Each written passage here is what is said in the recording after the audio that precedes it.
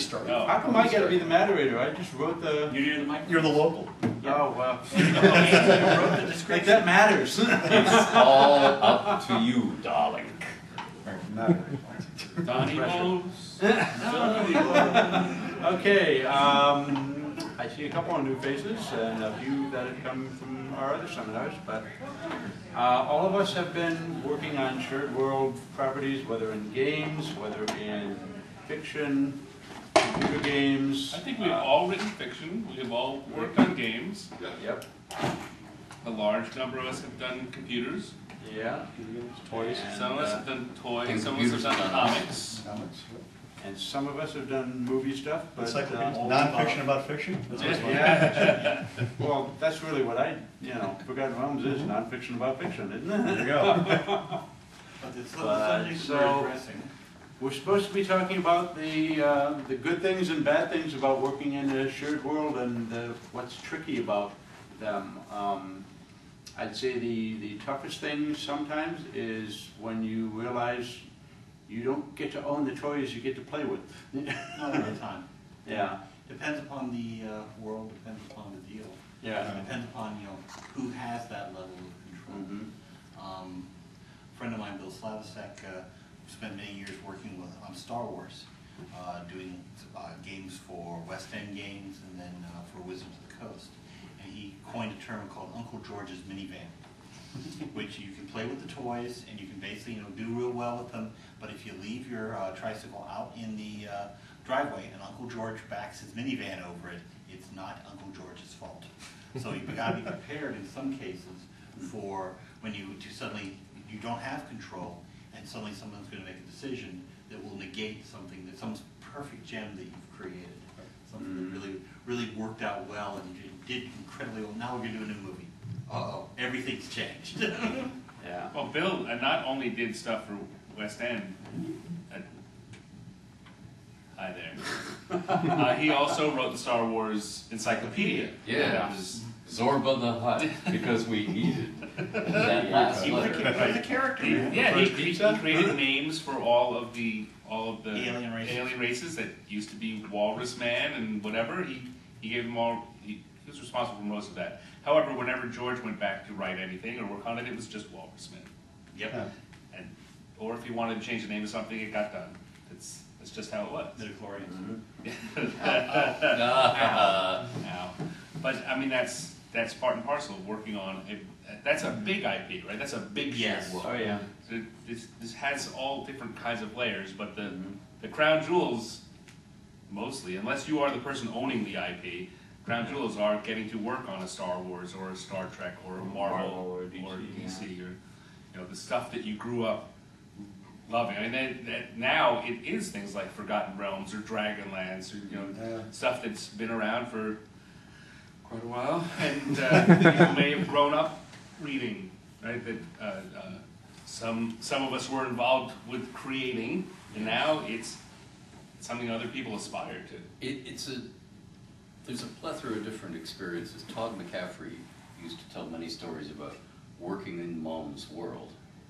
Anne McCaffrey is. And Anne McCaffrey, the creator of Pern, it's a different vibe when she's alive and laying down the law and saying, no, you're not doing this with this character, you're not Mhm. doing that with this character. Mhm. And then as she ages and says, oh, I don't care about that anymore, I've got to pick and choose my battles, I have the strength left to fight. So, okay, you could do that, but I don't touch these characters. And then all of a sudden, she's dead and gone, and he's it. And he has to balance what I remember of mom's vociferous defense of this, that, or the other thing, and what the changing story needs are for the younger generation. At what point do I say, well, mom expressly said no to that, but, you know, and it's, that's a difficult thing Here, for have him. some money. Yeah, well, no, no, but I mean, it's a, it's a difficult thing, as opposed to, um, this was purpose-built by many hands for a corporation, for a commercial enterprise Yeah. from the beginning. And so therefore, everybody going in, nobody can play the, but it's my fish. Uh, Unless your name is Walt. Yeah. The Realms basically sort of falls between those two categories. It basically was, or the Forgotten Realms was originally Ed's home campaign. He had written stories for it before, you know, D and D even existed. Uh, it's coming up on its fiftieth official anniversary next uh, year. Next year. From the from the fact that you know it's big. So he, he created it as a setting for his own personal stories. D and D came along. He started running adventures in it. He started writing articles for Dragon magazine, in which uh, he would you know write an introduction where you know Elminster drops by Ed's house and raids the uh, refrigerator, gets some uh, Canadian beer, and talks about five swords from Cormyr. And uh, the editor would take and remove all the stuff that, except for the five swords from Cormyr and then, and then print it. And after about the third or fourth time, they stopped removing all the extra stuff, and the rest of the world discovered Elminster. But a lot of what happened with Forgotten Realms was uh, TSR uh, purchased it, and I'm the, I'm the lug who said, you know, Ed's written a lot of articles for uh, Dragon Magazine. Maybe he has a world uh, behind it. and, and I called him up and asked him if he did, and we got it for an embarrassingly low amount. Then suddenly it became a group project, and when suddenly became a shared world, it was no longer just Mhm. Ed's vision. We had your source material, we had your maps, we had what legends you had told about the areas that you'd been in, and now we started developing and started growing it. And initially, we assigned different parts of the realms to different writers. Yeah, we drained the Great Glacier, and Doug Niles was writing over there. He also did Moonshaes, which we redrew. Mhm. Because early on, you can move things around on the map, you know, until, until you publish it. And then all of a sudden, yeah, we have to do it there because that's where we said it was gonna be. Bob was operating in the north, Ed was writing in Shadowdale. It was basically, it was Yeah. easy at the beginning, because you could say, where is nobody working? Yeah. Yeah, we So- divvied up the place and started explaining things. So next year is the fiftieth anniversary of the Forgotten Realms, not the published Forgotten Realms, the original Forgotten Realms. It's also, I'll be fifty-six years old, so Yeah. that's when I started. He did the first story, uh, One Who Comes Unheralded from Zirta. To Zirta. to Zirta, okay, which involved a magically cross-dressing Elminster. We found that story and printed it a few years ago as a, uh, as a, yes, Have very twenty-first century. yes, it is. He was ahead of his I was time. reading my way through everything in my father's den. Now, my Oh, yeah. father was an inveterate book collector, and like most inveterate book collectors, he built his own bookshelves to fit the books by physical size, so he could cram in the maximum amount of stuff. If you ever purchased British wartime paperbacks, they are that much taller than American Mhm. wartime paperbacks. So you build shelves that much taller. So as a result, when you're a young kid foraging amongst your father's stuff, and you're supposed to be playing piano, I got very good one-handed piano playing while I was reading with the other hand, and the door was closed. Um, first edition Lord of Uh-huh. the Rings in hardcover is exactly the same size as The High White Forest, a novel, of The Battle of the Bulge by Ralph Allen, which has this hilarious two-page scene in it in which German undercover agents are being trained to go into the action, and they're learning to say the word fuck to sound like an American, and the class is there because the SS that's agent, identify an American. the SS agent is showing up to see how the class is doing, and they're all desperately trying to say the word right, and, and I'm killing myself laughing. And then, then next to what passed in my father's uh, younger days for porn, oh, hoop trail, she was staked out nude in the sun to die. So I would wait until my father had a house full of generals or NORAD radar experts, and I would come running upstairs with one of these books saying, Dad, Dad, this one is great. Where's the next one? And my father would say, ah, son. What are you doing in your mother's books again?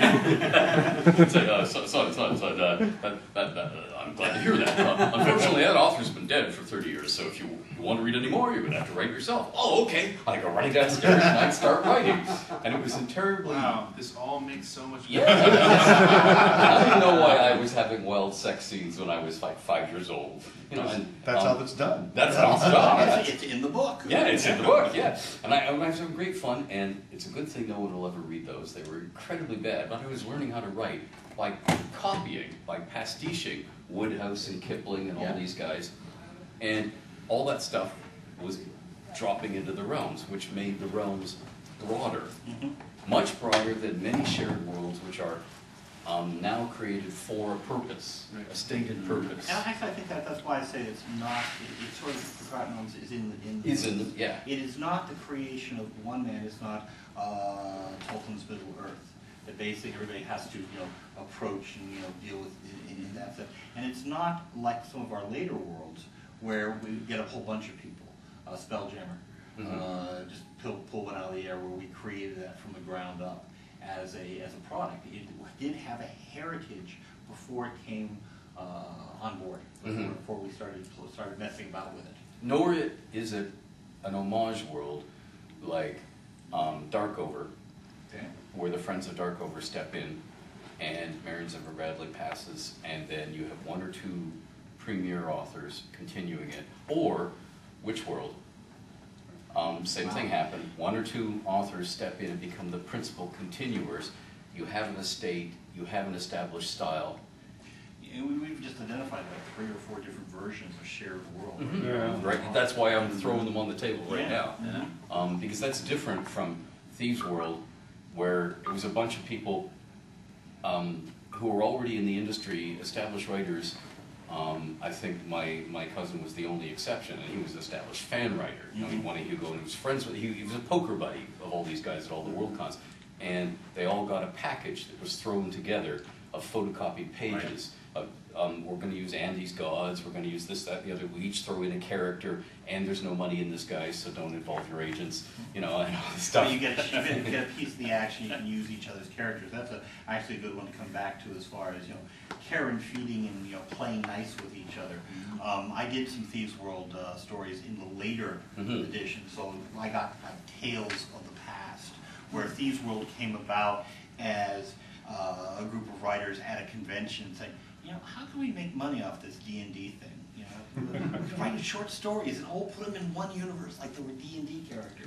And I have one of the original packages. Mm-hmm. Not that it was given to me, but it was given to my cousin. And he, he handed it to me and said, Here, I'm never going to do any writing with this. Maybe you, you know. And, I, and I'm reading through this going, Oh, oh. That Poul never wrote that. His agent wrote. Yeah, sure enough, his, it's his agent's handwriting. You know, so you could see Gordy Dickson. And, and so it was fascinating for me to read this mm. As a sort of document of, so guys, and then at the beginning, there was very much a gentleman's agreement. So if you do this, make sure we don't have any major war erupt until that is played out. You're gonna finish that in one anthology, or we're gonna do it over two? Okay, so it, nothing can break until that finishes in anthology two. One of the things I noticed in the Thieves World uh, series was the idea that, you know, big things happen between the. And, you know, there would be, there would be the opening setups and they got the characters, and then there'd be a war that was never covered. Yes. And then there would be the next set of stories, because they were, since they had so many different creatives going in so many different ways, that they, it just, trying to put, drop, drop a war and change the, uh, uh, the whole demeanor, Mhm. demeanor of, the- of the world, didn't seem like it would, would work under one creative, so they ended up having like, and then the snake people appeared, and then, and that always happened between the, between the, uh, the acts, as it were, Mhm. so.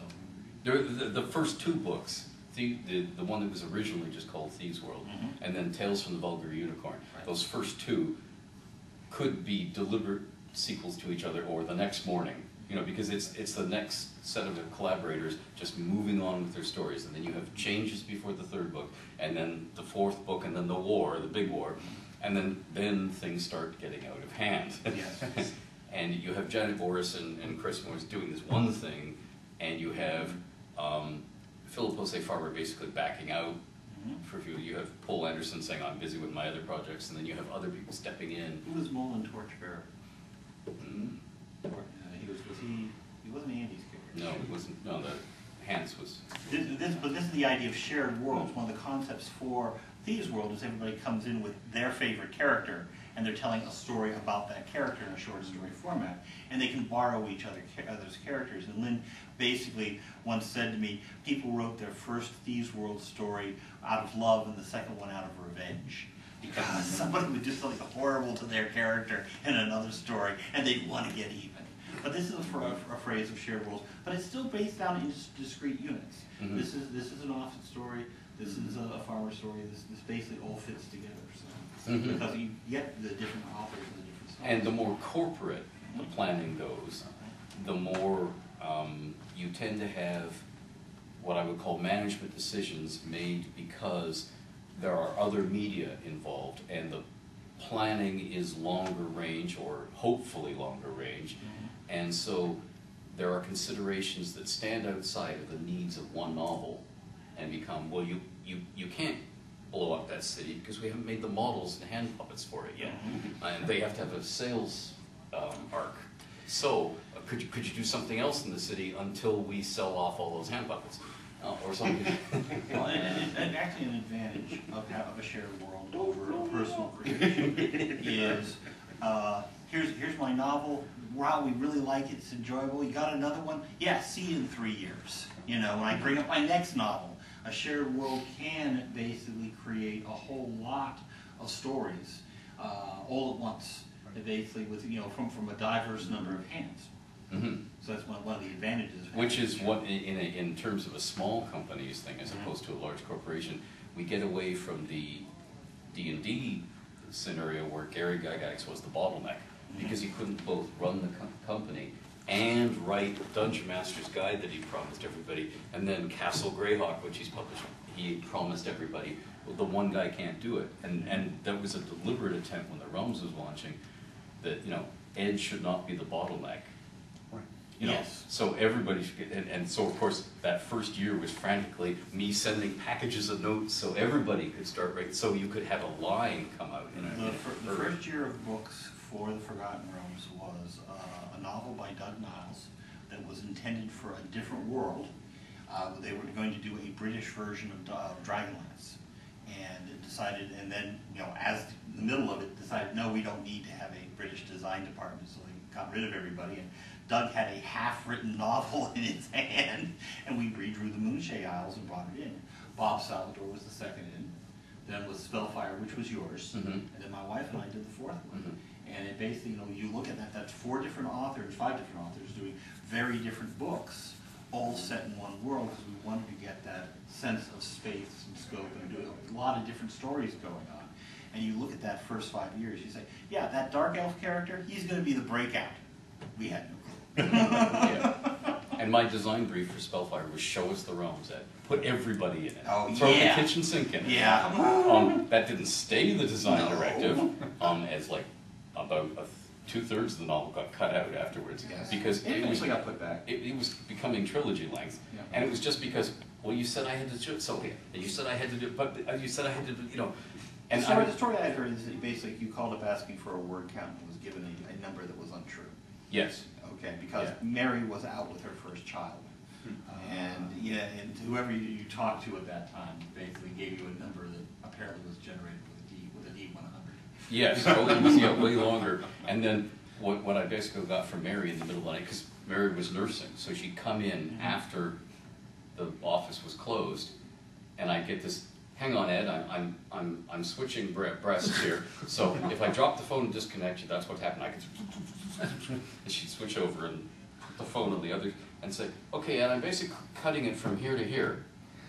And the evidence you can see in the final is that there are dark horrors, Mhm. later known as darkenbeasts. Um, the entire scene in which they attack was cut from the novel. However, their monster write-up appeared in a product, Product. and, and the poor guy writing the monster write-up said, so, I read through your book looking for the scene I was told. And it was like, oh, well, it's on page, those don't match the pages I have here. We're probably working from different manuscripts. Let me read you the scene. So there we are, long distance Long from distance Canada, Canada. and I'm reading the scene, and he's going, uh-huh, uh-huh, slow down, slow down. Uh, and so we don't want, oh, oh, okay, fine, fine, fine. Yeah, no one will ever notice this. We'll just, we'll just cover the stitches and, and no. No, it, it, it didn't work out. No. But uh, again, in- in TSR's defense, I was a member of TSR at the point, at that point, we were learning how to do this. You know, we were not a New York publisher. We did not have, we were building our own, you know, universe effectively as far as how to make books. We had done Pick a Path books earlier. We had done uh, the Dragonlance trilogy, which actually really got us going. Um, but when they did the Dragonlance trilogy, they, and this is a good example of a shared world that actually was built from uh, within the corporate standpoint. Tracy made the pitch, and uh, uh, Harold and I were like the second and third guys in. We presented it to the bosses, and here are the potential toy tie-ins, and we are going to do a big, big uh, ship uh, uh, action uh, figure thing, and, and, and just working on it um, over time. And they said, and and Tracy was very proud of the plot that he was put, had put together, of how the heroes would beat here, and they would go through the ice lands, and into the elven kingdoms, then up into a, into a, a whirlpool and everything. And they said, wow, this is really good. We're gonna go get a real writer to do this. This was not good news for Tracy, and they went out and they contacted a number of professional name writers, and they told them how much they would pay them. And those professional writers basically laughed politely and said no. So they came back to Tracy. They must not have called. This is our man, this is our manager, they, they told him, don't, don't do this, but they said, okay, we'll let you try it. But two conditions, one, you have to have to be teamed up with, a- with somebody who's been published before. And two, you have to end the first novel with a stopping point, because we don't know if there'll be a second novel. Because if this doesn't fly on the first one, we're just gonna pull the plug entirely. And Margaret Weis had joined us by that time, and she was an editor. Um, she was notable among the designers for having a autographed picture of Darth Vader on her, uh, um, on her desk. And she had published a young adult book that she had written, uh, on Jesse James. And that, ma- that was the team up of Margaret and Tracy. So that's the idea of how they got together. Yeah, Right, I- the I- other- it's The other true. thing you, you bring up, not only were, was TSR learning it, Mhm. but they were forging that path. No one else was doing that. That kind of shared world, That kind building a of. world, Mhm. putting novels, putting games, trying, thinking what would make a good toy. Yeah. Okay. Okay, with one exception, in a completely different genre, um, Man from Uncle was happening. Yeah, And the other and there was a lot of IP type, Yeah. type of. This is where Dark Shadows did some of the. Dark stuff Shadows, too, yeah, Dark all Shadows. Oh, there had been shows that had, had novels, Licensed, yeah. licensed novels. no, but, But but they- Man from Uncle was the one cross-pollination where ideas that writers came up with would actually make it to the TV people and back and forth again, whereas Dark Shadows was do novelizations. Of you know, the- do movie, which Yeah. is a, a long, um, Yeah. venerable, Yeah. back through the pulp and, and radio show. Yeah. You know, When I buy was- your Captain Midnight decoder, and here's the novel, eight pages long, but it's a novel. Yeah. When I, when I was young, the Star Trek uh, episodes were all Uh, serialized James by James, James James Blish. Blish. Yes, And you Captain's get, Log. you get Captain's Log, and you get, and you get a volume that like five episodes. They're all, you know, packed into a very slender book, so it's, it's more, more of a summary than really a, a, a collection of stories. And the very first one. Which has got quickly rewritten, James Blish was notable outside the Star Trek thing for Cities in Flight. Yes. The great um, series, um, which became retroactively a novel, in which these flying cities um, populate the galaxy after um, leaving Earth. And all the engineers are the stars of these books, and they all use slide rules. And so the slide rules made it into the first captain's log.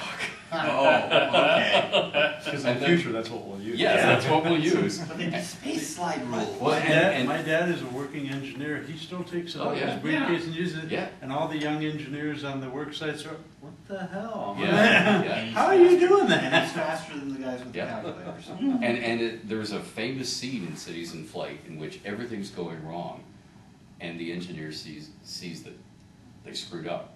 They made multiple mistakes. The city is going to crash, and there's nothing they can do. And in great violence, he takes his slide rule and hurls it at the wall so that it will shatter and fall into the garbage can. And that was a scene which he swiped to put on the Enterprise I see. and put it in, and you have to have the first printing of the book to have that because it quickly got rewritten back out again. Someone caught that. Yeah, And they said, no, you don't. and uh, no slide rules. Oh, I, it wasn't, the, wasn't the fact that he uses the same scene that he, he. he Oh no no was- no no no! They, they like the scene, but it was the no no no. we- We're doing camcorders, we're doing the tricorders, we're doing new things here. They can all do more than one thing. That's our shtick. So I guess that's a question for, for the, for the gang in general, is shared worlds, who makes the call? Who makes the decision? Who just sort of determines that, uh, you know, are you, are you boldly going, are you creating a new path? Or are you, uh, basically having to answer to somebody within a hierarchy? It's a lot easier if you have a single vision holder, right? Uh, And sometimes it's a committee of people, sometimes it's a, there's a writer's room or whatever, but they all report to the single vision holder, who they can communicate the stuff to all the different licensees, and especially if you're doing a large corporate thing, it's not just for novels, it's often for comic books and toys and, and uh, video games and everything else. So you wanna be able to have this person that's your touchstone, or a team of people, often two or three people, that they can call up and say, hey, does this make sense? Is this gonna fit with what we're doing? Does it fit with our plans? And often they'll actually dictate what's gonna be written, uh, to a certain extent. Um, they'll say, we want a novel that connects this point and this point together. Like, when I was doing the Guild Wars novel with you Right. guys, they were gonna do Guild Wars two, and they're like, well, we need pitches for people that will connect, uh, this Guild Wars one with Guild Wars two, which is two hundred and fifty years later. And whoever can come up with a solution for that gets to write a novel. Right. Mhm. But- Yeah, but no, that, that, that And happens. In, in Guild Wars One, we're fighting the Char. In Guild Wars Two, the- and it- which are big cat-like race. In Guild Wars Two, we have Char player characters, so they became like the Klingons. They became the bad guys. They became okay guys. Yeah. How does that change? And that There became a some foundation now. for, for the And that happens in everything, in political campaigns, that you have war rooms. Yep. And the idea of a war room is to come out with a con- consistent and coherent message. It may change over the, the length of the campaign, but if you don't have a centralized command and control, that's when you get disparate messages that blow up in people's faces. Well, I mean, if you look at like the, uh, when they were going against Obamacare, right, you could hear Republicans say, cram down our throats constantly, Mhm. because they had talking points that were distributed to everybody, right? It's just, this is a way, it's, I'm not trying to cast aspersions on either side, Mhm. but it's just, uh, you get a team of guys together, they say, these are our talking points, we wanna make sure we hit these hard and repeat them, so people do not forget them. Stay on track, stay on message. Yep. Um, give the illusion that there's a bandwagon.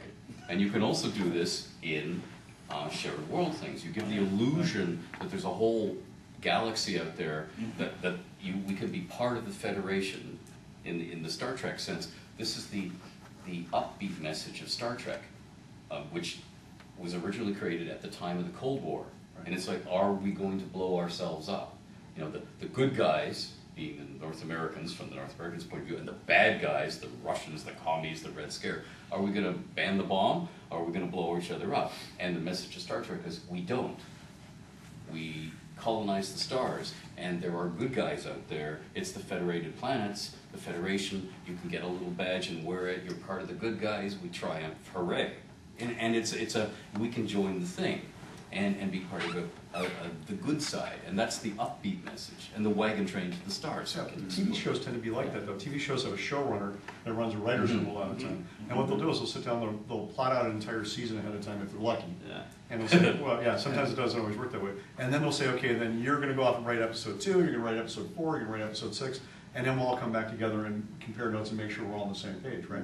But that way you end up having that, that single vision that's actually completed by committee of people working in a room for a week or two at a time, and writing it all down, and then going off and doing your individual things, and then having that all produced. And sometimes outside in the corporate world, these days they call that a charrette.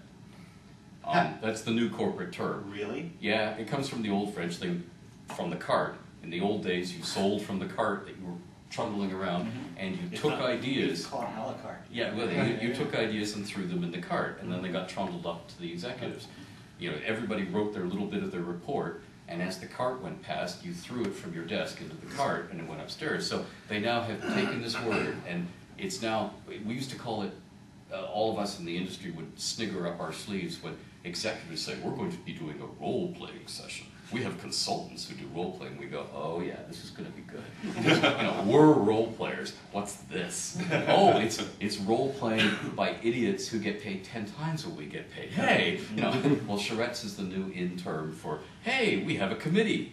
And the camel is a horse designed by a committee. Exactly, Hooray! yeah. And the danger with charrettes is when it isn't really an open process, but somebody has decided beforehand what end result we're gonna get, and they want the charrette as camouflage to say every stakeholder got a say in it.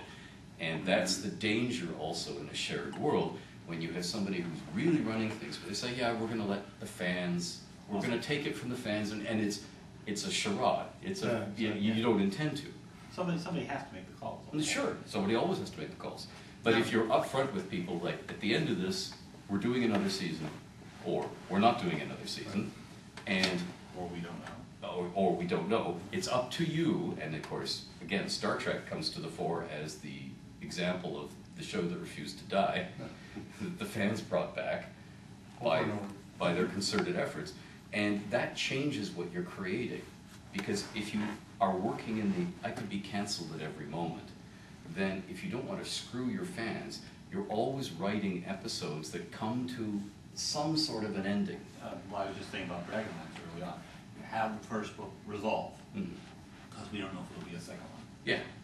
Yeah, and, but it changes the way you present the thing. If you know you have the backing from the people who are making the call to do one season of arc or eight products or whatever, then you have the, the luxury of being able to explore the world. Right. If you, if you could be canceled at any moment, you're, you're running in a different mode. You're trying to think, okay, how can we tell the satisfying story that leaves loose ends, but is in and of itself a satisfying story?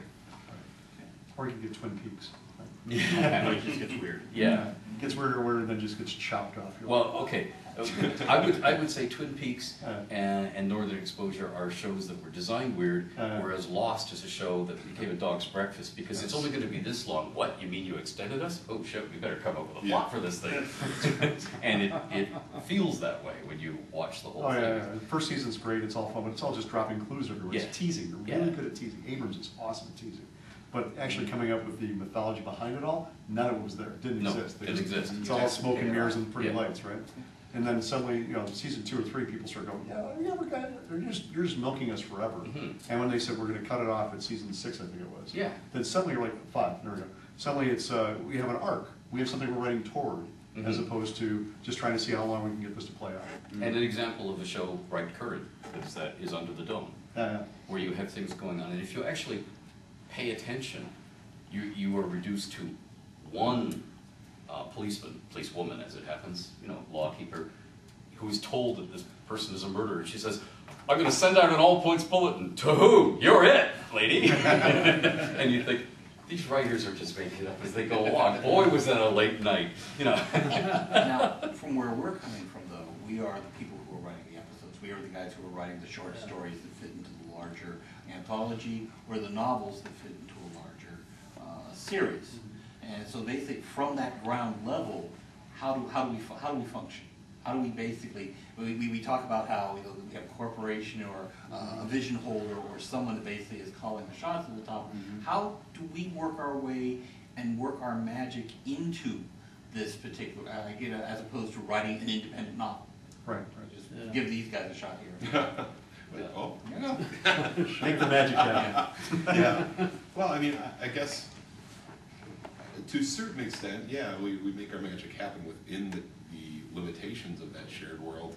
Uh, sometimes there's a specific request that you get, you know, for some of the work that I've done. They're like, well, we need a story about this that sort of captures this concept or idea, and you're like, okay, I'll see what I can do. Um, I, think I'd say that the, the, the biggest thing about the story is that making sure it's a story that is strong on its own and that still the, the world and the elements of the world are important to it, but creating a story that's strong enough that if they say to you, yeah, you can't have a half orc in this story, your story doesn't fall apart and you have to start over again. Or if they say, oh, you can't use that character, the story doesn't fall apart. By having just a really good underpinning of a strong story, mm-hmm. I I think that that can really protect you and allow you to be successful in writing a shared world story. Sure. It depends, right? There, there are, I can think specifically three different ways I've, I've had to do it, depending on the situation. When I was pitching short stories for the Realms or Dragonlance anthologies, it was thinking about the, the world, thinking about the world that it was going to be in, and trying to think of a story that I wanted to tell that felt like it belonged in there. And you get that if you're pitching things for TV shows or other existent uh, uh, properties where you want to you want to get in. You've got to think of something which matches your experience with this thing. In uh, others where uh, uh, we were building something uh, very similar to what you were saying, where you you you know where you're going and you've got a responsibility to to create a, a space where your story happens and is also seeding the territory for other people to tell stories there. And when I uh, was working on uh, uh, Legend of the Five Rings novelization, the story had been told uh, in card format and a couple of short story formats. And my job was to find a way to take that, that tale and make it into a novel. And so I had very little to play with as far as changing the, the, the specifics of what happened. I had to decide how to tell it. So it, uh, I don't, I don't think there's a an easy answer. There, there are lots of different things you, you, you know, depending on the situation, you, you approach it. But in the end, the, the main thing for me is to understand the property, to understand the, the world, and to make sure that the story I'm telling is, it fits in it. Uh, too too often, I was living in Japan for five years, right about the time Star Trek The Next Generation started. I was reading anything I could get my hand on that made me feel like I was at home, and they started doing Star Trek The Next Generation novels at that time. Mm-hmm. And so when I went into Tokyo, there were a bunch of those. I thought, oh, I can't see the show, but I want to read them. So I, I bought them, and the first of the first ten, six of them were awful, just god awful, and they did not feel like Star Trek. And it wasn't that they were bad books; it's that they didn't feel like Star Trek.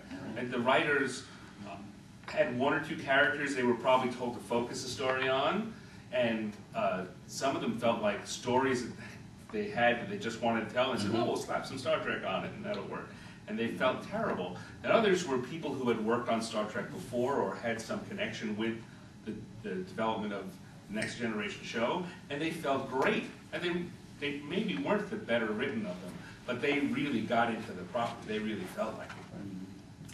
And uh, I find that with a lot of uh, a lot of the Star Trek fiction, in fact, you'll find the authors who really get it, and reading the books feels like it belongs in the show, whereas others just feel like uh, you know, no matter how good the author is, sometimes the named author that they invite in, they just don't click. They're not writing for the for the world; they're writing for themselves. And I think, I just wanted to add that, the, the point you're making about it depends on what it is you're doing, that completely shapes it. I mean, if they come and say, we need a story that has, uh, old school Shadowrunner, you know, that captures some of the, the vision of twenty fifty-two in twenty seventy-two, well, that's gonna shape every single decision I make, how I write it, where you place it. You know, versus saying, pitch us a few ideas, which, you know, happened with me with Pathfinder, like, just, just send us three cool ideas. Mm-hmm. At that point, you still wanna capture the feel of Pathfinder, but it's kind of wide open on what your options are and what you're mm-hmm. That, that always drives me particularly crazy when they say, throw me anything. You throw them Right. it- it- was- uh, they seem to be saying, it drives me, like I said, drives me crazy, is read my mind. Yes. I'm looking for something, but I won't know what it is until what you I show it to want. me. But when I get that kind of thing, what I'll do is I'll actually write a list of ten one-paragraph ideas. Oh, yeah. right? And like three sentences total in each paragraph, right? And this is like, I'm obviously not gonna spend a lot of time on this if you're not gonna spend a lot of time on this, and I'm not gonna try to read your mind. But I'm gonna show you what I might be able to do, and you're gonna pick two or three of those. And I'll do, I'll take each of those and develop those into a page, Mhm. right? And then they'll pick one of those, and then I get a contract. Actually, that, that's very much what I ended up Yeah. doing with uh, the Star Wars novel. I ended up writing, I gave them a list of like, uh, different types of Star Wars novel. I gave them one that was an epic space battle type, uh, story, or one that was the Hutt story that I, we ended up writing. And I did do, do humorous ones. I had a, uh, Jester Dexter noir novels, He's, you know, the, the, the fry cook with Yeah. four arms from one of the movies. And, and I actually did have the autobiography of Jar Jar Binks. And they thought that was cute, but they were not going anywhere. Written in dialect, the whole thing? No, no, no, in fact, it's written in his native tongue and translated. Ooh, It's a lifetime pages, piece of It's a poetic tongue. Translator does a much better job And, and than the he game, does. and the game, and the, and the uh, novel would end with him dying, a hero among his people, surrounded by his many loving children. There you go. And that's, for some reason, they didn't like that. And then he comes back to life, and it's the next chapter. Yeah. And, and I have to agree with you, because when I got that, I'm gonna file the names off, because Yeah. it's a currently operating company, Ah. with a currently operating thing, in which they said, yeah, just pitch us your ten best ideas. Mhm. And they said, and then we'll know if you get the property. And I thought, oh, this is a read my mind exercise. Yes. Yeah, it, it's, it's like, no, no, no, no, I'm not in grade six anymore. Yeah, well, it's You often the case, they don't necessarily know what works for their property and how it functions. And on occasion, uh, uh,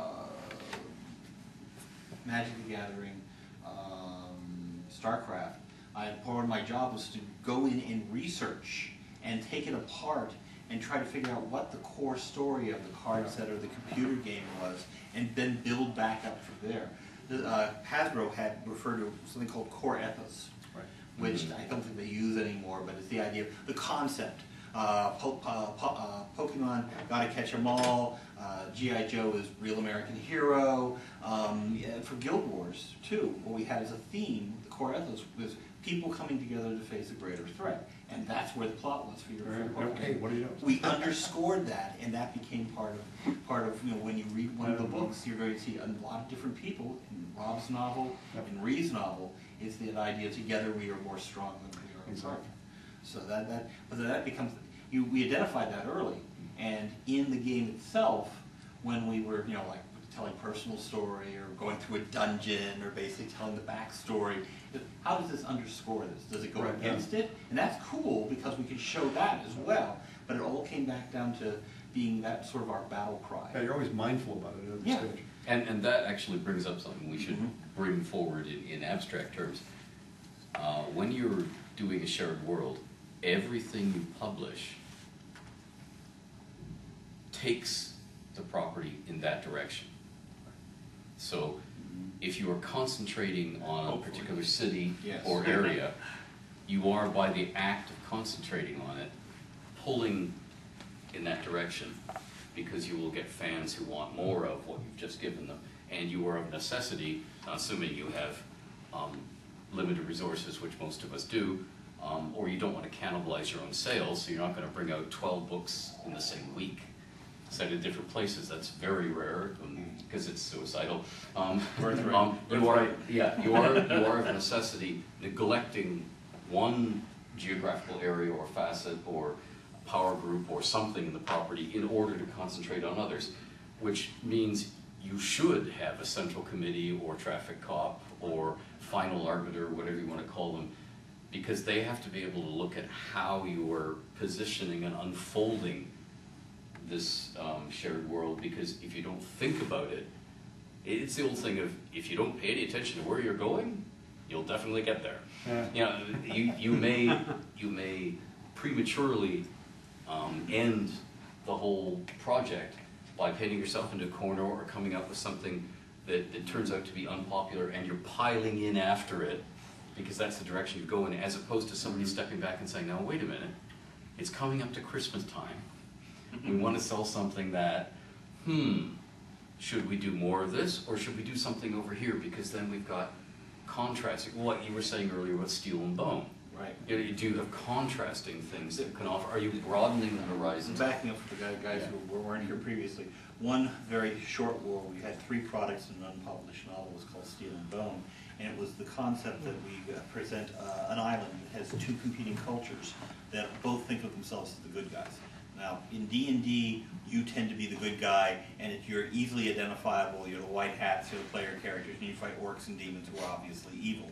We had a vibrant, strong, violent Viking culture on one end of the island, and an uh, ancient, experienced, scholarly necromancer culture on the other side of the island. And basically, the concept was we were going to launch a Viking book and a necromancer book at the same time, same month. So basically, people would, if people would encounter the Vikings first, they would think the Vikings were the good guys. And then if we present the, if they encounter the Necromancer book, they'd think the Necromancer is the good guys, because we present them as heroes. And in the third book, we bring them together. And this did not happen. They released the Viking book first. Everybody assumed the Vikings were the good guys. Then we released the Necromancer book, and they didn't know what to do with it. And it did. It, did, it was a. It was a nice experiment. It just didn't work. But it's often what you hit first becomes in the fans' minds, uh, in the readers' minds, what is central and core. The thing that you're showing them is the most important. Mhm. Yeah. Because that's all they have to go on. Yeah. Yeah, and, and that, I, I actually find it very interesting because of the way the realms hit. Mm-hmm. And Darkwalker on Moonshae is the first Yeah. product, and I'm going, okay, I have nothing against that, that's, Yeah. you, you guys are in charge of this now, but I'm thinking, We need it. We we we. where, yeah, I'm thinking, shouldn't you lead with the core box? And then, We finished the book first. yeah, yeah, We exactly. were, we were still writing the damn book. No, no, I, I, I totally get that, but I mean, from my point of view is, why don't you set the broad table and show everybody, and The good news is we flooded, the flooded the field so Mm. quickly. Yeah. That basically, the book, the book arrived, the box showed up, then a different book by Bob showed up. Mhm. Then we started more, uh, game product, then your novel showed up. And what we really did, this is something we actually had done well with the Marvel superheroes game before, is we flooded the zone. We Mhm. basically got so much stuff out there that basically people were saying, okay, it's a big world. We- Yes. Did we actually, from a sales standpoint, actually made the point that there's a lot here to, Yes. to, to engage. And I think that did work. Mhm. It did enjoy, did grok that it was more than just uh, Doug's characters or Bob's characters or, or your characters. I think we can tell the story now, because I think it's never gonna happen, it's all in the past. Fireworks television and the pitch for the, for the Realms TV series. I was in one meeting for that. Yeah, yeah, well, Okay. we all were in one meeting. Okay, Fireworks Television, um, which was briefly owned by Global Networks up in Canada, and they got sold. And one of the things they wanted to do was a Realms TV series. And this is, we're going back, what, two, two get decades now, around that? Fireworks no longer exist. Yeah, so it's, it's, it's safe to, to tell these war stories, because it never happened. And what they really wanted to do was a, The Godfather on TV using Drow. Okay, so, um, and, and it would be I nice. just see that on HBO now, you know? it would be nice and cheap to film because we do it on one sound stage. Sound stages are black. You hang some black curtains. You hire some artists to spray paint some rock and black Yeah. stalactites and stalagmites, and you film the whole damn thing in about three rooms of underground caverns of you know beautiful babes with pointy ears being really nasty to beautiful bronze guys who are also obsidian with pointy ears, uh, and that's it. And they kept saying, "So what do you see about this?" Ed? And I said, "Can we have some far shots of dragons flying over castles and mountain in the distance?" And they'd say, "Why?" And I said, "Because I want them to know there's a world out there." I want them to know that the horizons are there. We can go anywhere. We may not go anywhere in this TV show, so you guys can save five bucks. But if you're going to pitch it as a realm show, I want you to know that the realms is out there because then maybe you might have somewhere to go in the second season when you're all the drow have poisoned and stabbed each other down to one survivor. they might want to do something in this, and they're going, "Oh, that's nice," in that voice that says, But you "Eyes never glazing even- over, paying no attention to Uh. crazy Canadian. Let's move on." Uh, but I'm thinking, from my point of view, you're missing the point because the whole point of the realms as a, as a shared world is it's a vast world. If you're if you're just going to slap the realms label on something, you may be giving the drow lovers their stimmies, but the rest of us are going to go, but that's not that's not the realms. And actually, a good example of that is the response to the various D and D movies. We- we- I, I don't know if we really got the, you know, what is Dungeons and Dragons out of that, you know, the core ethos. And it just, you know, they've Mhm. just, they've been painful over the years. So I have a question for you guys. Um, I was gonna ask a question from on the panel. Um, so, you know, I think it's interesting you were talking about, and in my own experience, where someone said, just pitch me three ideas, and I realized how frustrating that was. And uh, I've actually done that to other authors, I Mhm. realize, thinking that I was giving them freedom, but instead I was simply leaving them floundering. Um, I guess one of the things I'm wondering though is, as an author, Mhm. or when you hire an author, what are your expectations from them as far as knowing as how much about the material do you expect them to know? How much do you expect to help them with? What are your expectations for them, or what are your expectations for yourself when you work on a project Uh, like The answer to that for me has to be it depends. Okay, Because sometimes you're hiring, are you a good team player? right. Are you a super fan so you know everything so I don't have to train you? Mhm. Or are you a known writer with a known style and I'm hiring you to get your name or sales or that style into the realms? Are you hiring Harlan Ellison to come in and Right. chew the scenery? Are you hiring Stephen King so you get your, or Danielle Steel to get your instant Wow. New York Times bestseller? Mhm. Even though Danielle Steel has never written in Star Trek before, but we, we want those love scenes. Or, you know, Yeah, why are right. you hiring the author? So that's the it depends. Now I'll shut up and.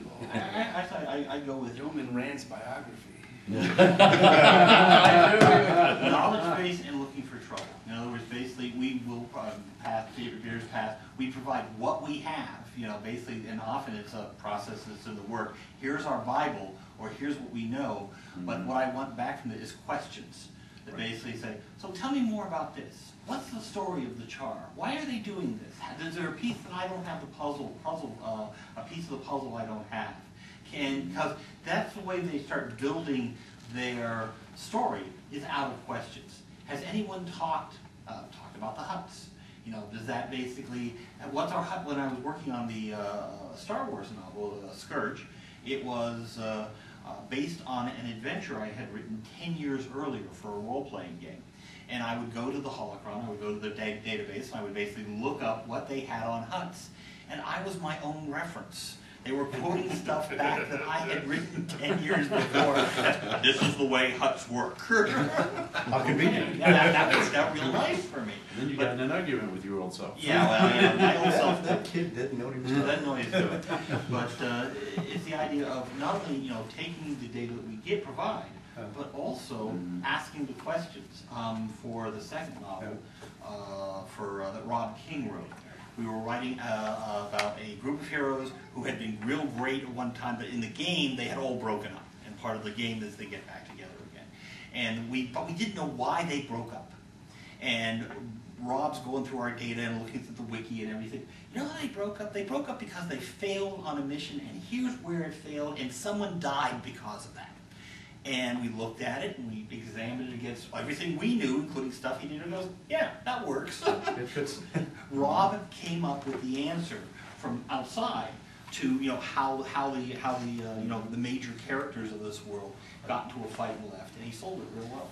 That's how I started doing this stuff. When somebody gives me an assignment or I, I get asked to pitch something, I'll go through and just absorb the material and look for hooks that have not been exploited, right? Because I, I, I don't like being one of these guys that comes in and says, I have a story, but I'm just gonna tell it in Star Wars or Star Trek or, or uh, Guild Wars or whatever. Um, that's not their story, that's my story that I probably wanna tell my, my own at some point, right? I don't wanna sell them the stories that I'd rather own myself. I wanna tell them the story that's wedded to their world, that Okay. fits to it as well as it possibly can. The story you that couldn't springs tell from without naturally. having it. Exactly. Like, I wouldn't come up with the stuff that I'm telling in other people's worlds for myself, it just, it's not my thing. I would say, um, you know, but I, I get to reading new things, I learn what's cool about it, what's special about it. I learn what people love about it, right? If you can figure out why somebody loves a property mm-hmm. and what that core ethos is, right? Then you can actually transfer that into any kind of a medium you're working with after that. I've done that with card games and tabletop games, and computer Right. games. Just mm-hmm. figure out why people adore it, and then what parts of that are, are transported into whatever media you're working in. Because every media has its own strength. I mean, film does certain things perfectly. Books are very good for introspection and, and getting into somebody's head. Uh, games are very great for action, but not so good for the introspection or for a, uh, a sequential story in a lot of cases, right? So there, every media has its own strength, and you have to tailor your story that you're telling or whatever you're working on to that medium. And it works pretty well if you just start with that and try to find that core that you can love about it. Right? I had, I had to do a card game based on a TV show called Monster Rancher, which was a Pokemon. Yeah, knock- Yeah, exactly. Uh, Pokemon type cartoon out of uh, Japan. And these guys commissioned me to do a card game for it, and they paid me a lot of money, so damn right I was gonna do a card game for it, right? They sent me twenty-six hours of cartoons to watch, right? And uh, my kids weren't old enough to be watching cartoons at that point, so I'm like, I hadn't done this kind of stuff in a decade or longer. And, but I sat down and watched twenty-six hours of this shit. And by the time I was done, I loved it. I was like, I cared about the characters. I understood what was going on, what excited people, why they kept coming back to it, what was gonna be the meaningful parts of that. I was able to take that and incorporate it back into the game. Let me give you a nightmare, the flip side of the, Uh, uh, okay. There you go. I was, yeah, I could go after you. Okay. Uh, the nightmare on the other side of that, uh, I was assigned to do a dynasty role-playing game. This was after the first season, it was just getting hot and everything was really, you know, exciting. And they sent me old scripts for the first season of Dynasty. And Dynasty had a first, rocky first year before changing and becoming the show that it was. And I was reading the scripts and I was looking for that core and trying to figure it out. And they sent me out there to meet with the Shapiro, who was the head, the head writer type, the head producer. And within five minutes, it was quite clear that she had definite ideas of what this, what a role-playing game about her license should be, and I had missed the mark completely and totally and collapsed. You know, it, was- it was it, because no one had told me. You know, Yeah, yeah. basically, the whole story of Dynasty is how people love. Um, uh, John Forsythe's character. Right. That was, the- he was the center, and everybody else, the purpose of a game was to be loved by John Forsythe. Okay, and I, I had, I had to bow out of that. Another designer, uh, uh, Anne Gray stepped forward. She actually did a wonderful job with it, turned it into a board game. She represented it to the producer, and the, when she walks in, the producer said, "I like your shoes." And, and they got along fine, and everything worked out. And you know, the game didn't do very well for us, but it was very because it was trying to do something outside of our comfort zone. But having to read every um, Dynasty script just broke my brain. it was it was it was too much for Well, me. one of the things people forget too, or don't realize, is that when you're doing this stuff, your audience, your first audience is not the readers, Mhm. right? Your first audience is the guy who is approving what you're putting out, Yes, right? and that- And if you can't please well. that one person, it never gets any farther. Yeah. Right, which actually leads pretty neatly. There we go, so Yeah. nice segue there, there go. So glad I let that go. 'Cause I, when I was at Upper Deck, we got a license for a property called Monster Allergy. There's a theme developing here somewhere. uh, which was based on an Italian comic. Okay. Okay. Uh, it was brought over to the U.S. and Canada for one season. Oh, it was being made in Europe, and uh, uh, I don't think it played its full season. But the comics were awesome. they really were. But uh, the problem was that the person that we had to get approval from didn't want the game to be like the comics. They wanted to represent something else. Hmm. So, well, we, by trying to make something that would, uh, would reflect what you were reading in the comics and kind of capture the, what we thought the audience would want, the, uh, the approvals person wanted something different, wanted to branch it off so that they could do this other thing they wanted to do later. Uh, And so, we, we wound up making a game that, once, well, once we found out, we made a game that did that, and I, I wound up not actually having any part of it. But the people that did it did exactly what I would have done, and I, I felt pretty happy about that. In the end, it only ever got released in the UK. Can't get a game here. Um, but now I say it, it also reminds me of uh, when I was at uh, um, West End, and we had the Tank Girl license. Uh, Yeah. That's the Tank Girl, the movie. And uh, Sony would not send us script for the movie. Mhm. Uh, eventually they did, but we had to write most of the book based on the comics, which was somewhat different than the movie, and then uh, very adult in nature. Yes. Kangaroos and, and young women shacking up together. Um, your kind of thing, Ed. You should look Yeah. at. Yeah. Right in there. Uh, and uh, so, we, so the, moment. the game, the game wound up being very much like the like the comic and like the the Lori Petty movie.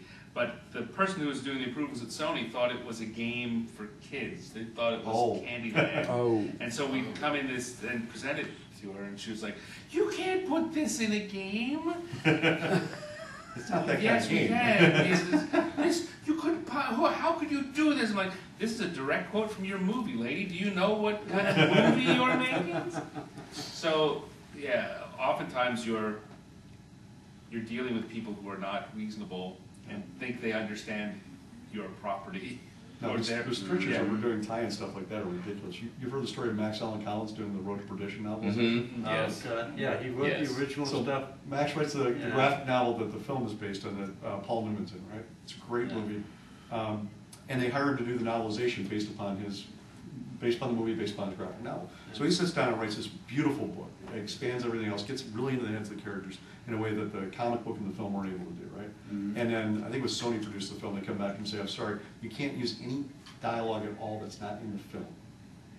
This is our, our agreement with the original licensors for this.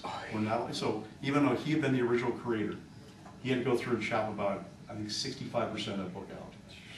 So somewhere on Max's hard drive is a brilliant Road to Perdition novel that will never be read outside of it. It's- It's sad, but that was the restrictions of their license, and that's what he had to write to. I was working on the Lord of the Rings uh, role-playing game for Decipher, and the license that they have is based upon the films, which meant that you were able to use anything from The Hobbit, anything from The Lord of the Rings, that, and anything in the appendices that did not also appear in the Silmarillion. Right? And you couldn't use anything from the Silmarillion or any of the unfinished tales or any of the other Have books. So if you saw the last Hobbit movie, you see uh, Gandalf sitting there, he's going, yeah, and then there's the Blue Wizards. I can never remember their names, right? And that's an That's in why. joke against the license because Right. those names were actually published in the Silmarillion. Yes. And are not, actually don't appear in the other stuff. So they're not allowed to use those names, even though they're out there in common knowledge. But the, the license holder only had licensed the, uh, the Hobbit and the Lord of the Rings. Exactly. so- And, and to, to pull back from the specific thing, that puts out a, a bigger problem. When you, when you said that the first person you have to, to please isn't the reader, it's the mm-hmm. person who has approval. Mm-hmm. Well, if you're writing a novel in a shared world, that's the editor. Mm-hmm. And quite often, the editor, with the best will in the world, so I'm, I'm leaving aside the things where they have crazy ideas The that don't match, stories. or they have their own agenda, or they're a twit, or they're, they need brain surgery, and They- they the, don't the, the tumor hasn't been discovered yet, but it's affecting, know. And, Or all of and the let's, above. let's say they have the best will in the world. They may be operating from the point of view of, I want a good satisfying ending to this story, so I want X.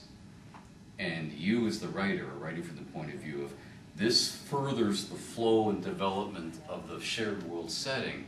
And so therefore, I want to end with a Lady and the Tiger ending, Right. because that The leads, choice has a to be choice made. has to be made, the reader has to decide what happens, it's open-ended, it's hanging. And the editor's going, no, no, you can't, you can't do that, that doesn't make for a good novel, and you're going, yeah, but, but it makes for a better thing because it's gonna lead into the, well, never mind what it's gonna lead into, my brief is to deliver the best possible novel here, The so. book has to have an ending. Yeah, But, but nowadays, actually, some of the novelizations being done for films are being released two weeks before the film. yes, And because of that, because they don't want to spoil the film, because they're not allowed to, they actually will force them to do Yes. the ambiguous ending that isn't actually an ending, so that the people don't get it spoiled before they go into the theater. I, it's insane, right? Mm-hmm. Yeah. I, actually, I do have, I, I, it, it- Stan talking got me to another horror story that I don't think I've ever told. That happens a lot. Yeah.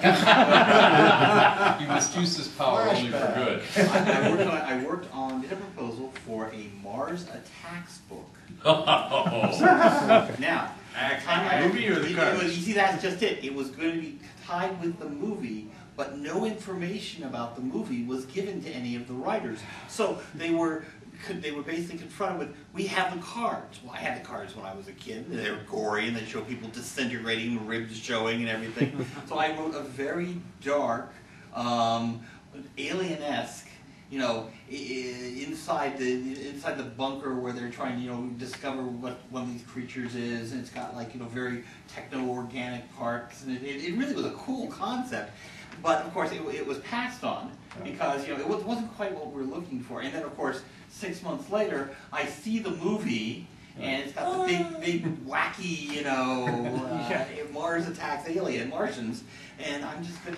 It made me a little sad because if you had told me, Novelizations. I could have films written that. do, though. I could have written that A lot of times you don't, you get the script if you're lucky, right? Yeah. And then, but you don't, unless you do have access to IMDb and they've already cast the film, you don't even know who the actors are. You don't know what they look like, what they're doing. It's uh, usually a pre-production script as well, so it's not even the Yes. shooting script. So you're basically going off that, and a lot of things get revised as they go along. You're you're not Mhm. told any of this stuff.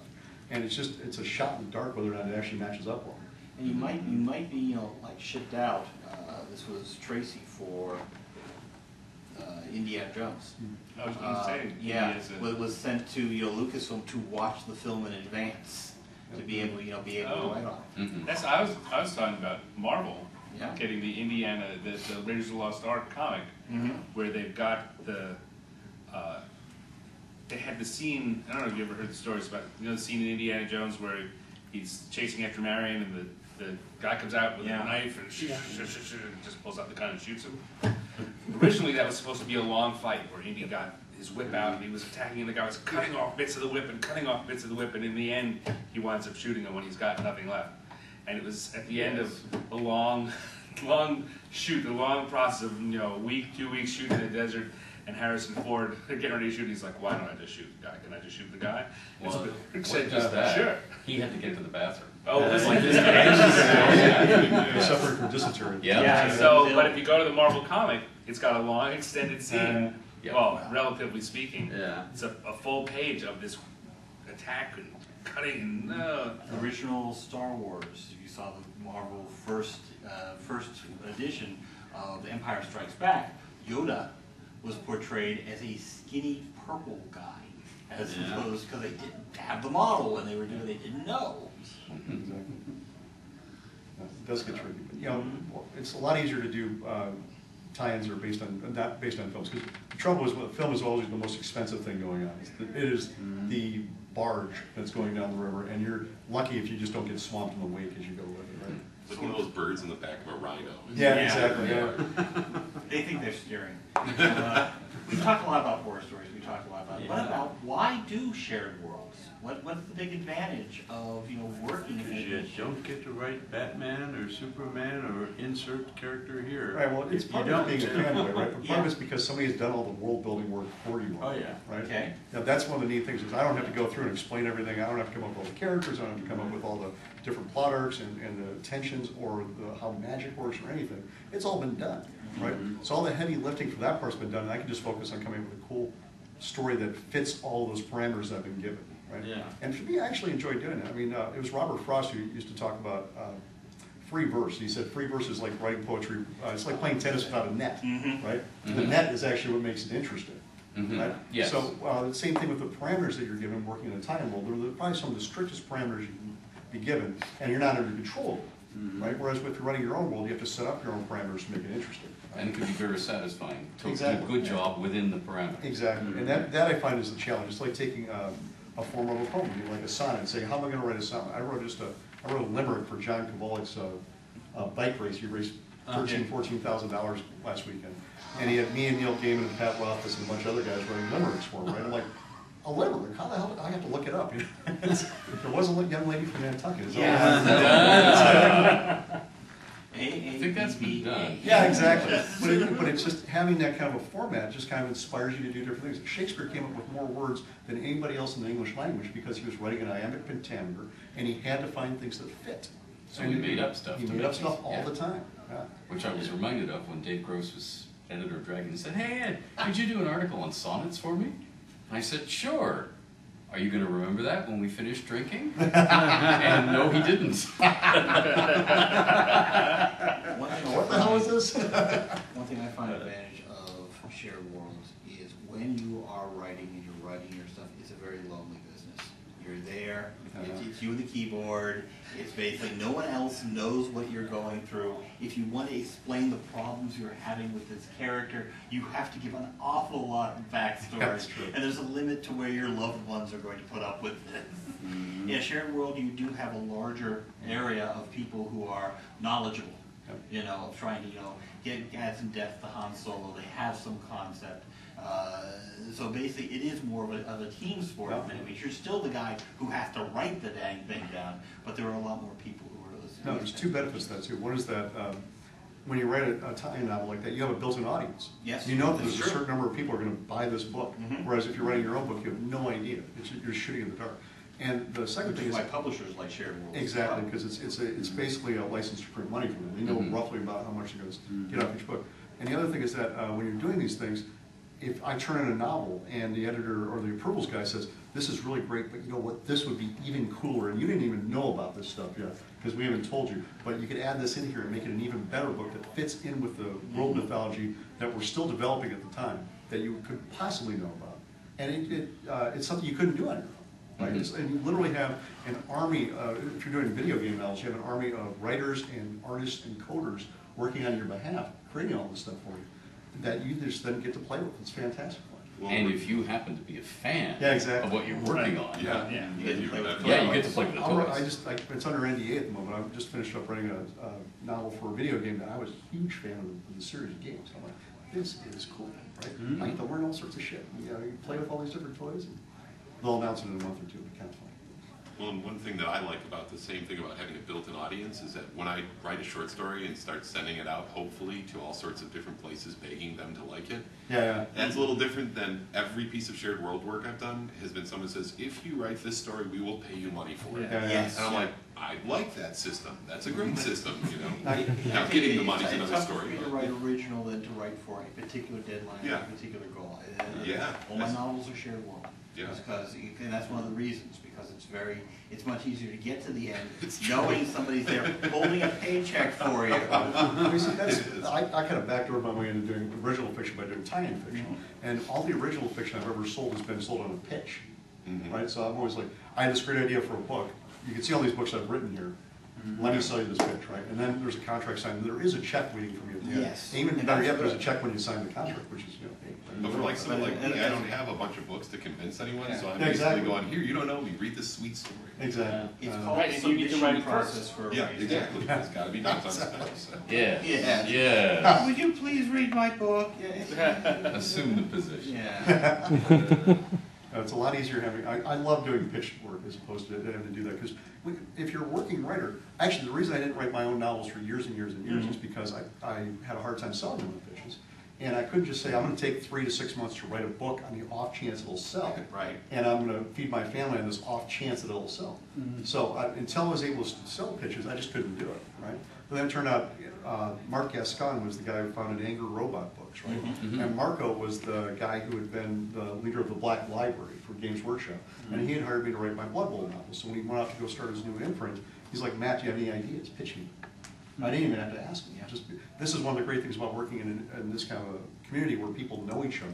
And they can mm-hmm. reach out to you and say, hey, I, do you know this guy, or do you know somebody else who's looking for this kind of work right now? And it all just fits together at the end. Sure. I, I, literally, and I, I'm not sure who it was, I have several suspects, but for the Star Wars novels, they got in touch with me. Yeah. Because they were looking for, they needed someone, we understand you can write quickly. Yeah. Which is always my warning sign. Yeah. And you know Star Wars, yes. We have a computer game that's coming out in November, which is like four months. And can you, you know, how can you give us a quick turnaround? And I say yes, and but I start doing the research. It's a computer game that's supposed to come out in four months, and there's nothing on the on the uh, radar. No promotional material. that's not no coming out in four months. That's not coming out in four months. So Mhm. Thank goodness I had I asked my agent. He's a wonderful guy. He basically put language into the contract that says if the book, if the game is canceled and the book is canceled, then he gets to keep his advance. Exactly. And uh, I'll, I'll be honest, they, they huffed and puffed a little bit about, well, it's not going to be canceled because you know we you know we're going to do. Then this you won't mind putting that in there. Yeah. Yes. They canceled the game. Yep. And then they canceled the, after I had done an outline, so, you know, it, so, because we had to get it done quickly. And uh, so they had like half of, they paid me an advance, so they didn't forget me. There you go. They called back and they said, you know, we're doing the Old Republic, would you like to do a novel for them? And I had said, no, my day job's doing it. Yeah, They would take a dim view, they would go away, I still win, I still got the advance. They called back the third time. And th- this, my agent believes I'm the luckiest human on the planet. In case of atomic attack, he's standing right next to me because you know the, the shockwave's going to come in and just go right Look right over over me. And because they came back a third time, they gave, not only uh, allowed me to pitch a book, they basically gave me the percentage that they would pay to the computer game company. Nice. so it, it basically my price went up. Yeah, exactly. And that was Wow. just uh, bizarre, and we created the, the Scourge book for that. It was like one of the last books before the whole, you know, universe changes. So I have no idea. So you got three advances. I got, I got, I got one advance that basically was applied against three different projects. Uh, We were talking about this at lunch, actually. I've got three advances from Wizards of the Coast for books I never even wrote. Cool. because They'll sign you on to write a book. Yeah. You'll turn in an outline or whatever, Mhm. and, uh, or just even a pitch. And then they'll cancel the line, the book is in. Yeah. Right? And then you're, they're like, what do you do? So well, that money you gave me is my kill fee, thank you very much. And Yes, I, I've done that as well. I got Exactly. that Steel and Bone novel novel I Yep. was telling you about. Basically, it was, okay, you don't, I'll write this, but if you don't, uh, uh, publish it, you're giving me, I get, I get to Uh, keep the money, I get a kill fee. Yep. I, so I didn't get an advance because I was an employee of TSR Ah, yeah, yeah. at the time, but I did You get a kill kill fee because they decided not to print it. Oh. Okay. See, I was looking, I didn't even have to write the book at all, I didn't, other than the outline, and still the money came in. Yeah. I I should tell a story, but they're tape recorders, so it's- there's a statute I've of already got limitations. myself, I got myself already. It was in another country and decided. Exactly. line this thing. What, what you mean to say to the cameras is that you would never tell that story under any circumstance. Not- Yeah. Because it would be a lie. That's right. But, but Jeff raised an interesting, a very important point, actually. Whenever anything is mentioned about, we understand you can work quickly. Yes. That's a big red flag. Yeah. Or rather, it's the red headlights of something that is about to drive over you at top speed. It's Star Wars. Because usually the next line is, we have a deadline this Thursday, and Uh, we understand, and then in my case, it's, you're just a librarian, so the invitation Oh, yeah, yeah. I You can call one in for- sick sick, for a week. consider, yeah, yeah, no, Uh, no. it That's the point where I break out my speech about how you can have a good, cheap, and fast, you can Yeah. pick two, right? Yeah. And you're already screwed up fast, you have to have that. You're coming to me because I'm good, so cheap is off the table. Yes, yes, yeah. It's interesting, though, that when you're talking about writing fast, most of the folks I've met who do tie-in writings Yeah. are, um, no problem. All right, this is still fun. No, no, go ahead, go. No, I I constantly. Tell 'em you can't write the book. Are successful. Uh, they write fast. Yeah. I mean, at the end of the day, they're folks who can, who can produce, who can deliver, who hit their deadlines, and who produce quickly and cleanly. Right. And Yeah. that's not necessarily true of people in, in other sorts of, of Well, writing. no, like Pat Rothfuss couldn't write a tie-in novel to save his life, and I love Pat and his work, right? Yeah. But he, he just takes forever on his bunch, and it's, and Yeah. same with George R. R. Martin now. Mhm. You know, just, these are guys that put every bit of labor they can in these books. And, uh, and because of that, they're not able to deliver under that kind of pressure. It's Scooby-Doo. Right, and it works out, it works out very well. On the other hand, the book sells so well, who the hell cares, right? Right, yeah. But as far as making it in the tie-in business, it almost feels like that, being able to write Right. quickly. Well, Neil is Gaiman almost gave a speech, uh, uh, commencement address a couple of, about a year and a half ago, right? And then he's talking about if you want to succeed in writing or really any kind of art at all, you need to be uh, very pleasant to work with, very good, and very timely. If you can do one of those, you'll probably be okay. If you do two, you can make your career. If you can do three, you're a legend, right? Th- This is the kind of things. Now, my opinion, you can't really control how good you are or how good people perceive you to be.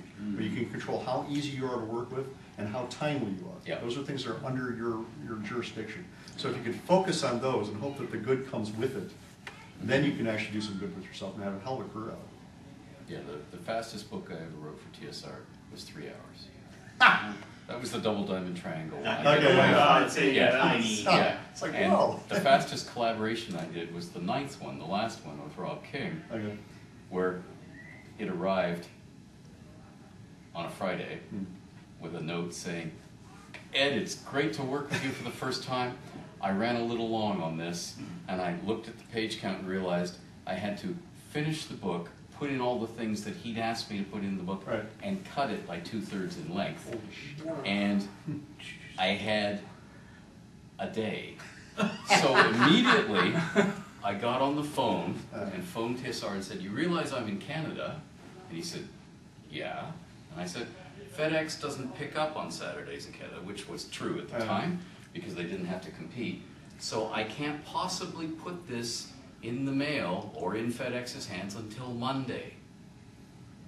He said, what's wrong with Sunday? And I said, it's Canada, it's FedEx, they don't do anything on Sundays. They sit at home and watch football games. He said, oh, well, I suppose we can wait that long. Good, I said, because I had to work. a Not even full- weekend. No, no, I had to work a full Saturday at the library and a full Friday. Oh, jeez. So I sat there at the library reading, in between patrons, bundled it into my thing, ran home and wrote it in about five hours, and put it all in the FedEx thing and said, "You owe me, Mr. King. You owe me big time." Say it into the, uh, That's right. Yeah. The Yeah. debt is not due, Rob. No, no, no, no, no. That's that's years in the past. But it was like it was like. Yeah, Um, but professionally, one of the big challenges whenever you're doing a rush job is they really want it now, they really want it Yeah. now. And the moment you give it, they judge it as if it's the project you've been working on. Yeah, oh, yes. yeah. yes. Uh, a lot of, a lot of spelling We're grammar errors here. Yeah. I don't think Yeah. you got your parentheticals right. Yes. That's what you get editors for, kids. Yes. Well, it's, I mean, that's how I got, I, I thought it was interesting just because that's how I got my first tie-in fiction piece was some, the editor came and said, you write really fast, don't you? I said, yes. He goes, do you like this property? I went, sure. Right, We have an opening. It's suddenly Is there a open. paycheck in it? Yeah, exactly. Yes, the I last, like the last, bro. the last, last guy sort of fell over at his keyboard. Uh, we have to move the body first, but Yeah, Fastest That's how I got was the an eighty five thousand day word help novel. I did it in two weeks. That was, Yeah. that was insane. My editor calls me up and says, how are you doing with this book? So I'm, I'm like, this is the third book in the series. And GW was being cheap and they didn't want to commission them, they didn't want to give me the advances for all three books at once. So after I finished a book, they cut me a check for the next book. And we finished book two in a rush, and then we just collapsed, me and the editor, and he had forgotten to actually commission the third book for me. So I get an email from him saying, how's that book coming along? I'm like, what are you talking about? I thought I had some time here. He's like, oh God, if I don't get it in two weeks, I'm gonna have to resolicit it, which means orders go down, it's not, it, it screws up our entire cash flow, blah, blah, blah. I'm like, ah. I, I, it was over Thanksgiving, we had my entire family coming in as well, so, um, not Canadian Thanksgiving, it's American. Yes, American Thanksgiving. Um, So he gave me, uh, I took two days off for Christmas, or for Thanksgiving, they gave me two extra days, so in the course of sixteen days, the two days off, I managed to finish an eighty thousand word novel. And it got, it, no revisions required at all, right? But part of the neat thing is, it's the third book in the series, so I've been, I knew the characters dead solid, I had an approved outline to work off of. I've been leaving dangling plot lines for two books already. So all I had to do was just fuse all that together, tie it up in a, in a nice bow, and send it off to them. And, uh, one interesting thing about writing at speed like that is that you get out of your own way.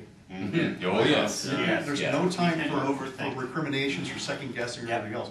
It's just all purely on the page, you just go, go, go, go, go. However, if you're writing that quickly, you have to write your strengths as a writer. Yeah. Yes, true. you're not Um, experimenting, you're yeah. not doing something, you know, If you're writing straight ahead action, you can write faster than if you're playing head games, the intrigue novels where somebody says, My lord, consider the implications, and then walks away. Uh, And for two pages, the character goes, I wonder what he meant by that.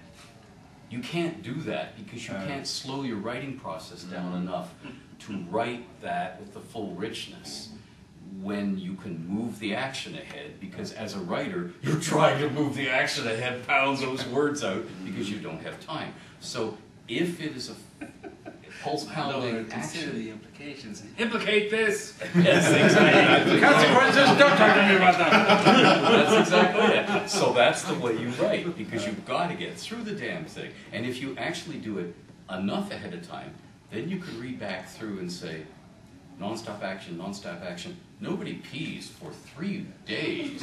Um, I need a beat. No in wonder it's so fast. Yeah, I, I need a, I need something in here. The reader needs a breather right here. What can I put in? And, and that's the real luxury. If you got through it fast enough, You get time for a second yeah, draft, you're Yeah. awesome. So you're not all operating at the same Yeah, time. but I always like writing at speed anyway, because honestly, if it's a long book and you've been working on it for a while, I tend to forget what I was thinking about months before, right? Yeah. Whereas if it's only been like a week or two since I started the book, I can look back and say, oh yeah, I know exactly what I'm doing, I got an outline here I'm working on. It. And even though it's changed, because I always deviate from the outline at some point, uh, because better ideas strike you as you're going along. Yeah. um, it- I still remember what I'm doing, right? And if it's been three months of having to deal with my kids who drive me nuts, and, you know, my mother's in the hospital or something like this, that throws me entirely out of it, and it's hard for me to get back to it. Whereas if I'm running at speed, I'm right in it the whole You- time. You just touched on something that's actually also important in shared worlds, is a detailed, working off a detailed outline. Yes. Get that hammered out with the license holder, with the vision holder, with whoever you're doing it for, uh, at the beginning. Because if you get to get there and they say, wait a minute, we never agreed to killing A- Agatha uh, in in this book, you can say, yes, we did, it's right in this paragraph that, you know, we, that we bought, that we bought off on. And if things go wrong, if you get to that point and Agatha Agatha can't keep Guy because of various reasons within the game, it's a good uh, warning in the, in the novel you, that you've already written, you basically set up a warning sign. You can basically say, wait a minute, if something's happened, can we do this instead? Right. So working off, uh, my wife and I, you know, we, we started writing novels together. So to make sure we understood where we were coming from, we worked off a very tight outline. And that helped us a lot in our communication. And as it turned out, it helped us with communicating with, uh, with the license holders. No, if I'm writing a book, I'll- even if they don't ask for an outline, I will give them one. Yeah. Because the worst thing you can do is spend all that time writing a book, turn it in and have them And say, they "Ah." no, this just doesn't fit at all. In fact, it doesn't work at all because of this one huge plot point that if We you'd have tell you. asked and we would have told you about ahead of time, Mhm. it- it- everything the novel turns on just falls apart. Yeah, right? my mind reading skills are Exactly. flagging horribly as I get older. Exactly, so it's much easier to have an outline, and I usually only do like a paragraph or three sentences per chapter, right, and keep it loose. But that way, I- they can tell me whether or not I'm, uh, I'm hitting what they want me to, or if I'm deviating so badly that they were gonna turn it down, right? Save myself weeks of work that way. I tend to stream of, stream of conscious, just write, you know, paragraphs and then, then go through it, so this will be a chapter, this will be a Yeah, yeah. chapter. Well, I start out with the stream, I start with a paragraph, Yeah. then I go to a couple pages, like two or three pages, and then I'll bust it out by a chapter, because I know roughly how long I want each of my chapters to be. And And- I've also realized I overwrite a lot of the time, so I'll do like, if it's gonna be fifty chapters in the book, I'll outline forty chapters. And then Mhm. give myself the room that I need to actually. However, that's if you have the uh, freedom to do that. Yes, true. Um, Quite often, when you're working in a shared world, you will be told, we need it in this format, because we're writing catalog copy, or ordering the cover or something earlier. We're and you will be told. already. And, Yeah. and in the realms, both Elaine Cunningham and I were notorious for writing outlines that are almost as long as the finished book, with key dialogue actually written into the outlines, because that's the way we preferred to work. And I remember once being told, no, no, no, here's an outline, we want you to do it like this. And I'm, I'm not gonna name the name of the person who's on the outline, but it was one page. And they said, now, you, you gotta do what this guy did. You gotta break it out by chapter. Chapter one, they fight. Chapter two, some running. Chapter three, more fights. Chapter one, I said, really? They said, yeah, that's what we want. I said, okay, chapter one, somebody gets killed. Chapter two, they run. Chapter three, there's a big fight. Chapter four, some monster appears. I don't know what, who cares? Chapter five, they kill the monster. And they said, are you mocking us? Maybe. Let me see. Paragraph one, yes, I am. Paragraph two, dance party. I, I got started with the idea of that, that whole, you, I hear you write very fast, but because they, uh, the Star Wars book, because they canceled that particular, uh, novel, and then they were slotting a new novel that could go anywhere in their schedule, they kept moving the release date back. So at one point, I had not delivered the final, you know, we kept doing, oh, give it until November, you know, have it in by November, have it in by May, you know, et cetera. And uh, the contract that we'd written basically had uh, timed out at that point, so I got my third payment, because they broke it into thirds, was going to be upon delivery of the manuscript or one year after the contract Right. was signed. And I basically something, and I get a check from them. And I, I, I call my agent, and I said, why am I getting a check? I said, I don't know, we'll, we'll find out. And he sent a note to uh, the Star Wars people saying, thank you very much for the on-delivery payment for Jeff's uh, novel. Could you please send us the manuscript so he can turn it back in? And they said, no, no, it's because of the Uh. one-year date, and that just. That's because you have a good agent who goes, payment upon publication is the Yeah. worst thing in the world. Yes. Because Yeah. things slip, things slip that are Yes. beyond the writer's control. Mhm. That you have, no, if it's your fault, that's one thing, right? But if it's because they decide to go in a different direction, or because the video game or the film or whatever slipped, Yeah. it's not your They fault, ran out and you of shouldn't money. have to sit there and basically give them a Oh. loan for that period. of What's time. even worse is when they put a non-compete clause in. Yes. It's time to the release of the novel, oh. whenever we figure that might Yeah, be, when we exactly. make it up a decade from now. I hate non-competes too. I, I usually try to say it has to be directly non-competing, and I'm gonna Yes. interpret that as narrowly as I possibly can. I've also seen some less reputable companies take advantage of confusion over e-publishing to say that that doesn't count as publication.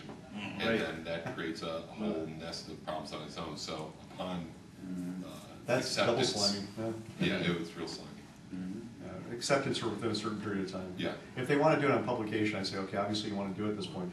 Then we're gonna say, wi- within three months of that date, if it's not published, I need that payment, right, no matter what it is. Mhm. Yep. And that I usually don't cut people slack on these days, but when I was starting, it, getting into that, it was a little bit easier to say, you have best intentions, I have best intentions, I don't doubt your intentions, but here's a backstop. Yep. So, Should we open this up for questions? Since we're down to our last half hour, or? Dun.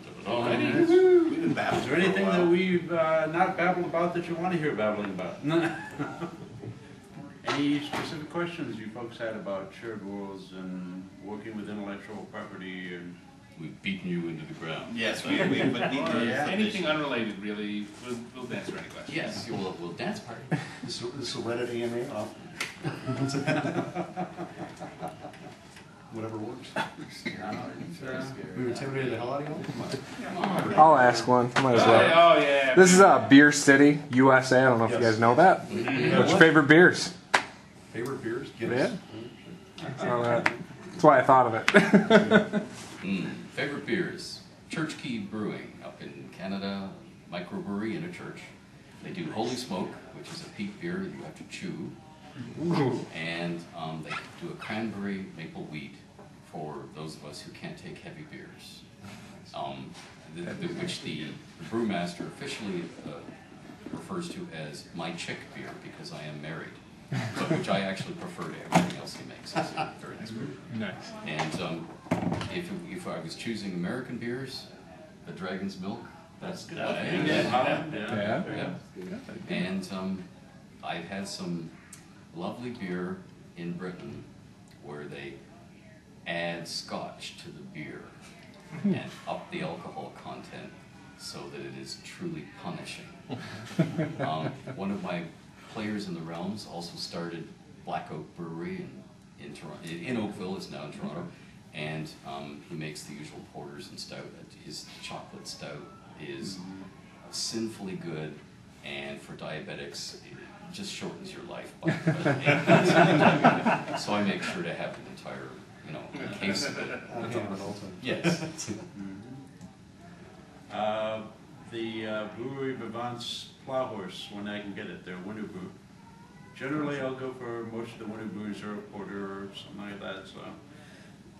You know, as much as I, I've got a good friend who works for Stone Brewery, but I'm not a big fan of their beers because they are a little on the hop crazy side where, Yeah. you know, everything's an IPA, whether they've labeled it as such or not. Did they do the one for Art Prize this year?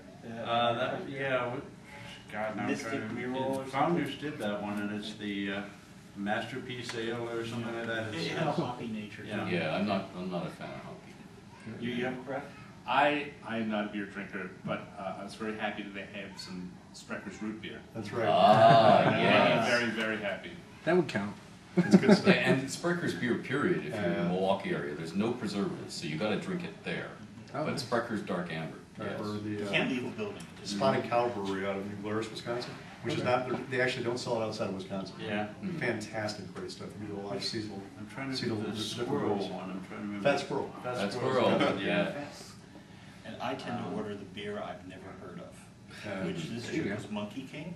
Oh, I- bring it back to Wolf. I thought that was very, very, I thought that was very nice. And so And if you're traveling and you're, you, you're caught in the, you know, American Roadhouse beer, Mm-hmm. you peed in the can, and here's your Coors Light, here's your Miller Lite, here's your, you know, I, I go, oh, Rickards Red, or if you don't have a Keith's Red, or just a red, because it's safer Yeah. than, boy, the welds on this can taste so good. I'm gonna have to go with Bell's Oberon or, uh, I also like Summer Shandy, which I Yeah. forget where that comes from, but it's fantastic. Yeah, That's I- I grew up drinking Old Milwaukee, so I'll really drink just about anything. Oh my god! Iron Iron City.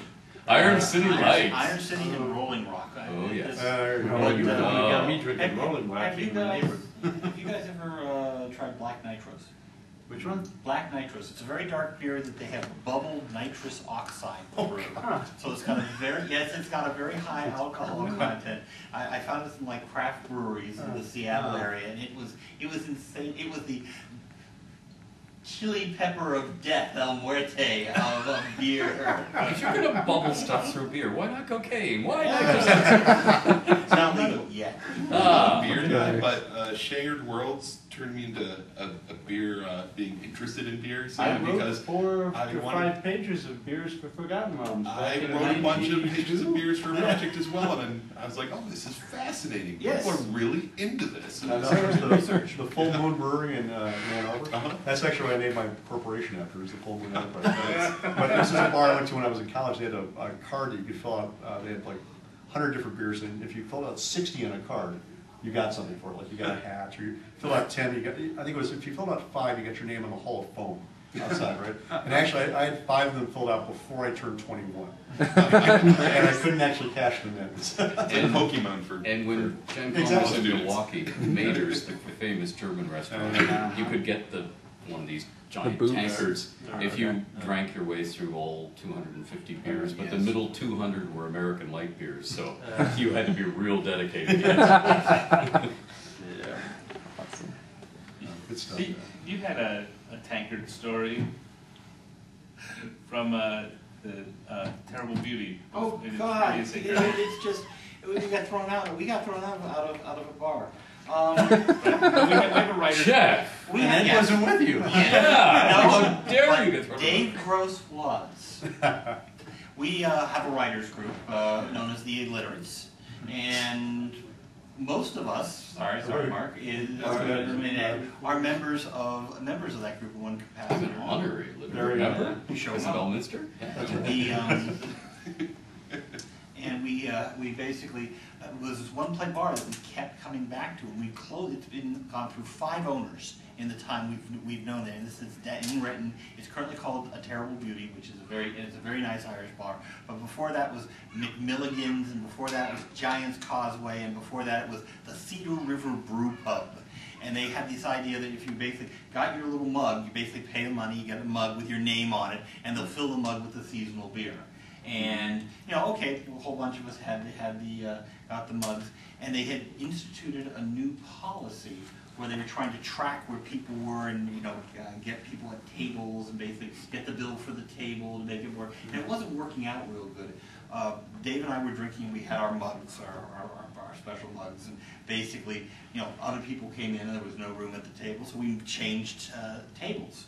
And the own, the manager got very angry with because we changed tables and messed up his, you know, new computerized format. And you know, he came and yelled at us. You know, he said, you know what, uh, we're not going to be here if we're going to get yelled at. You know? exactly. And said, we like our mugs, and we're, we're, we're going to go. And he brought up the mugs, and he said, you know, set the mugs down, our, our mugs down. He said, fine, you know, here are your mugs. Go. I'm not going to say I'm sorry. Go, okay, that's cool. We were just, you know, going to find some other place to drink.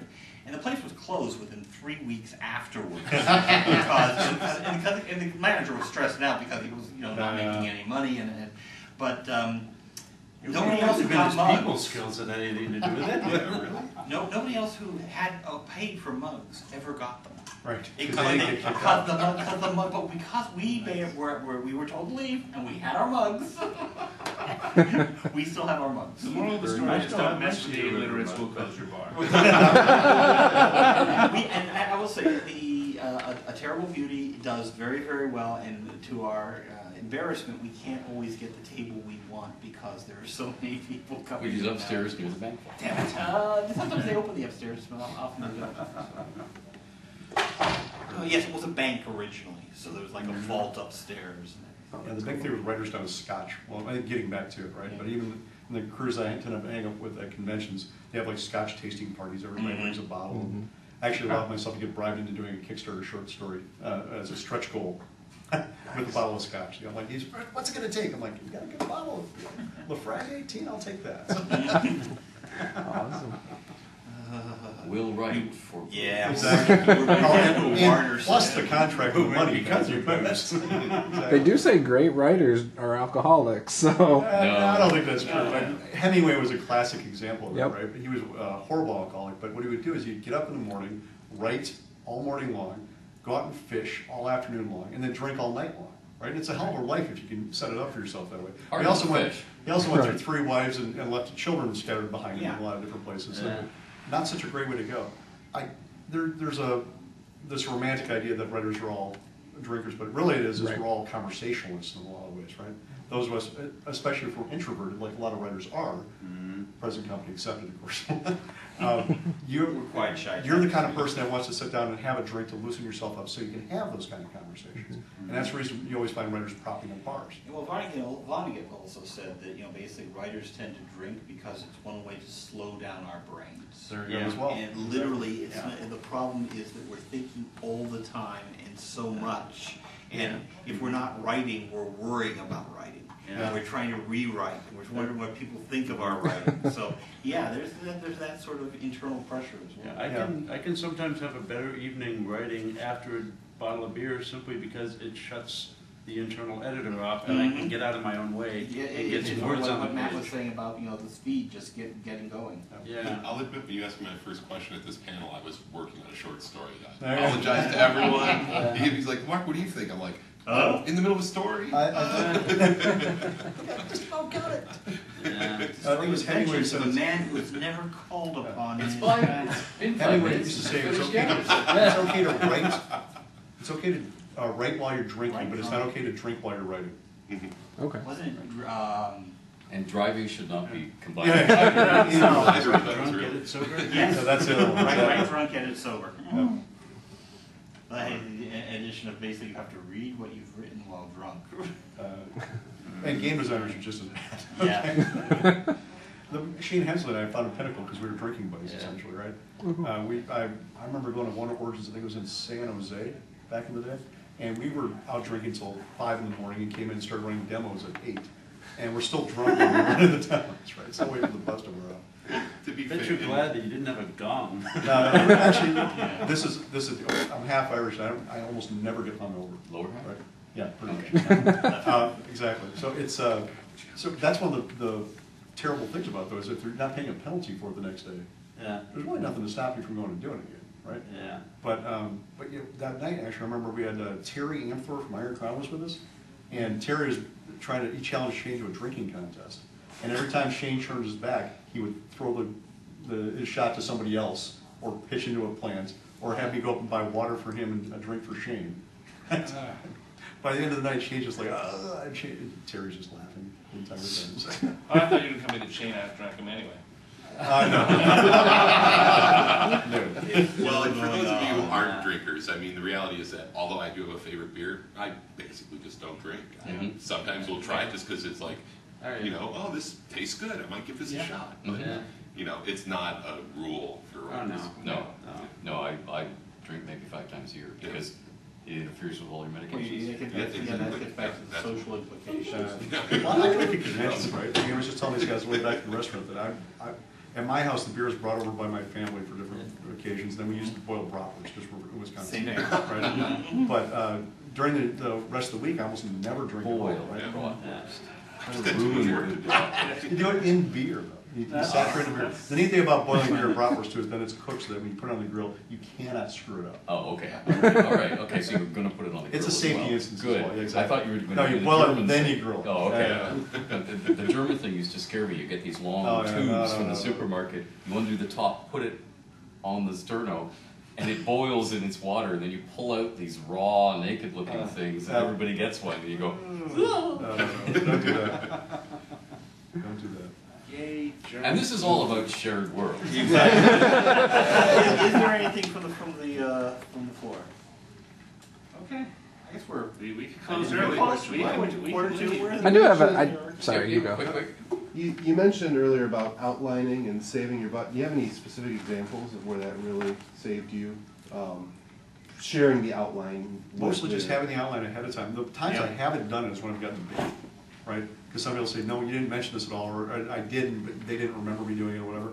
And of fortunately, those have been on fairly short projects. But um, like TSR back when I was writing uh, adventures for them or- or source books, they would hand me a, a page plan that would actually have each page, what was gonna be on that, uh, in, all the way through the book, right? Which made it very easy to go, but it's more like color by number at that point. Mhm. But, um, We need eight hundred lines. Exactly, words but you know what, I think it's, you know, if somebody's commissioning something for Paizo's me that's a work for next hire level. like that, and they want something specific, I want them to be as specific as they humanly can. Because that, that way I can deliver what they want, right? And I can do, the I can make the best version of that that I possibly can, that's within my ability to do so. But if they won't tell me what it is, then I'm just guessing and hoping, and that's not fun for me to do. It's also what, what Matt said earlier about, you know, you, you- someone's in the hospital, you're busy with your kids. Yeah. If you're juggling eight, ten, or twelve projects at once, and you go, nobody would ever do that, to which I reply, Kickstarter and life. Yeah. Yeah. You know, you add those two together, it's like, what did I promise? And what, what did I, where were we going with that book? Because that project's now been on the back burner, well, I've done six other things, and I'm now going back to it. It would be really nice to have an outline, rather than just, I wrote three pages, and in the middle of the bar fight, he's throwing the stool, and Where was I going the rest of the file is blank. And the cursor's going, da, da, da, quite patiently, and you're going, ah.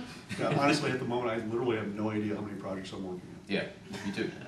It's, it's impossible at a certain point. The- These writers who say, oh, I wait for my muse to strike, and three years from now, the novel will be finished, and I go, oh yeah, a, an author. I haven't had the luxury of being an author since I was six years old. I've had to be a writer. We had lives. That- I get kids to feed, you know? My mortgage comes due the same time every month, it doesn't matter. Yeah. right? They don't, are you done with the book yet? They don't ask that. Let me get the check. I, uh,